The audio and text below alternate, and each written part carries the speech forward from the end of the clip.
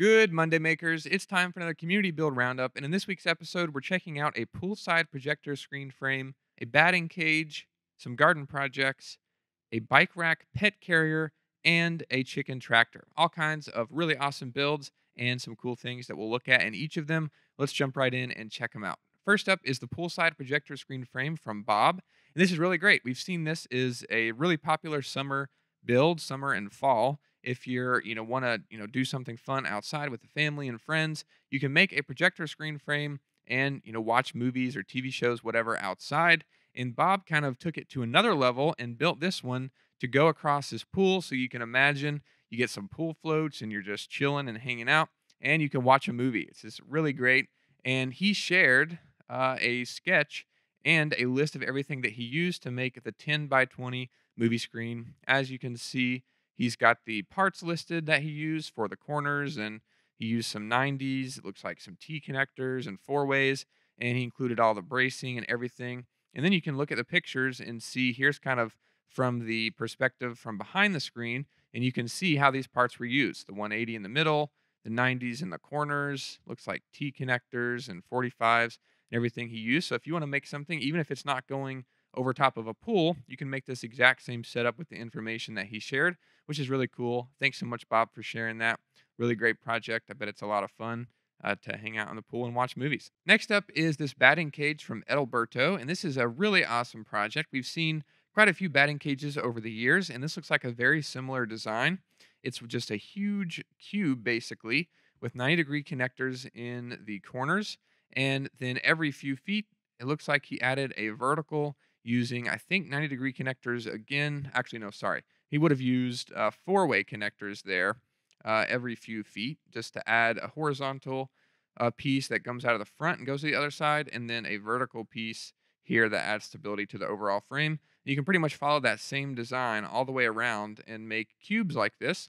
And that's what he did going around. And it looks like he used uh, some T connectors and some 180 degree connectors and there it is with the, the, netting attached to the frame.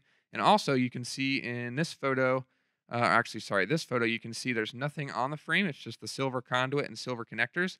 But then he went over top of the conduit and added some pipe insulation, which is a good idea if your, you know, baseball hits the pipe instead of kind of hitting it and, you know, damaging the pipes or causing it to ricochet. This kind of reduces some of that momentum from the ball uh, which is a good idea, and just a really great batting cage. And I'm sure this is a lot cheaper than some of the prefabricated ones you can buy out there. So that's really cool. Thanks so much for sharing this build. Awesome project. Next up is a couple of garden projects from Robert, and you can see here he has a beautiful backyard garden. Looks like a really awesome place to, to do some gardening and growing of plants. And you can see here uh, he's built a couple of things with MakerPipe, and he actually added on two existing structures. So you can see here that he had this raised garden bed and he had some vertical posts that were already up.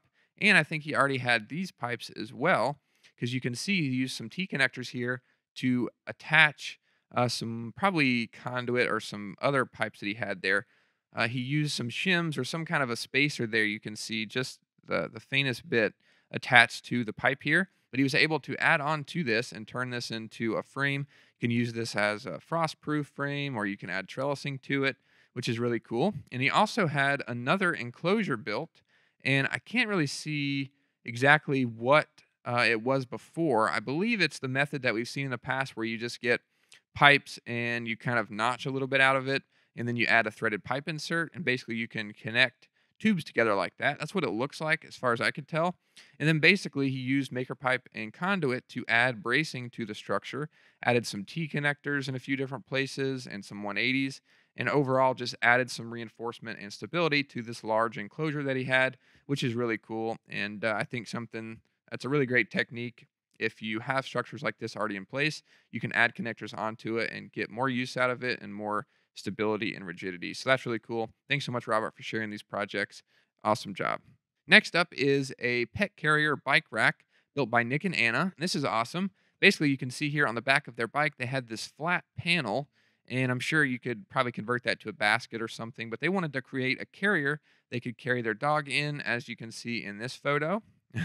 what a cute dog there. And uh, basically, all they did was they made some conduit bins to create kind of a U shape. They did two of those, and it looks like they just bolted or self tapping screw through the conduit and into this metal plate here on the back. And that's how they secured the, the U shaped bins. Then they just did a, a rung around the top with bent corners, which looks really nice, and then joined together with the coupling there. Then they just used T connectors to connect this top rung to the U shaped bins on the bottom and basically just created the framework for a larger carrier. And then they added some cloth and fabric and some cushioning there. And as you can see, the pup is able to ride on the back. They've got a harness attached to it and to the bike frame.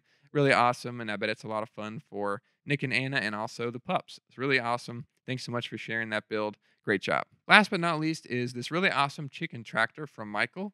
And he said he built this out of PVC, but it didn't last very long. So he kind of went at it again, this time with, I believe, three quarter inch EMT conduit and maker pipe connectors. And you can see it has a really great design. You know, it has the verticals that go up and arch all the way over the top.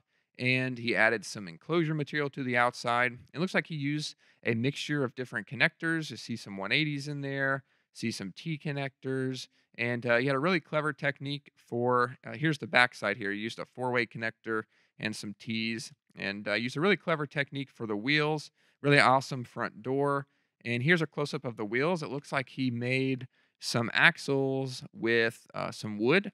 And I would imagine this is able to flip over because with a chicken tractor, you don't want the chickens to get out, but you want to be able to roll it around. So you can't just put wheels directly on the bottom of the horizontal because then that's going to create that space there that the chickens can get in and out of. So you have to be able to do the wheels parallel. It looks like he came up with a solution for that with wood, which is really awesome. And I think it's able to rotate and twist around to get the, the pipe level with the ground. You may not even need to because it looks like the pipes are pretty much level with the ground already, and the wheels are still touching the ground and able to roll.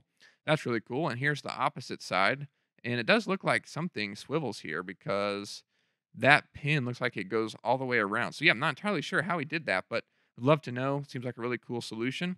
But inside the frame, we can see he added some shelving, uh, or I guess that's probably a perch for the chickens. And he just added some T connectors with some wood going across. He also incorporated some bracing with some 90 degree bends which looks really nice. And it looks like the enclosure material is secured with zip ties. And just all in all, some really great techniques and really cool things incorporated in this, like the coops that he's got in here. He just did some, uh, looks like some angled wood to create the platform for these upside down storage bins and gives a place for the chickens to hang out inside. Really awesome, really awesome build from uh, Michael. Thanks so much for sharing this. Really appreciate it. If you want to see any of these builds in more detail, they'll be linked down below. Thanks everybody for posting your projects. And if you want to share your build, you can do so in the community or through email or on social media. There's all kinds of different ways for you to share your build with us, and we'd love to see it. Thanks everybody for watching, and we'll see you in the next video.